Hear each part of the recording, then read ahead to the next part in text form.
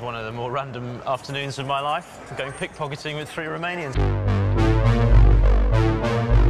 Oh my god, bro. Oh, hell no, man. What the fuck, man? Get your ass on, boy. Bye.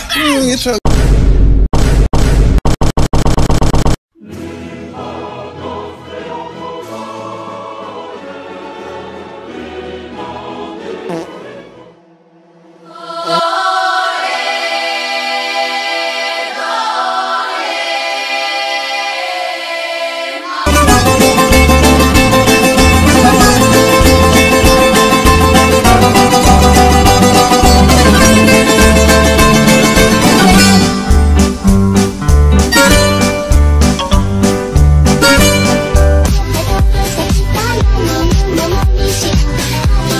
为大家。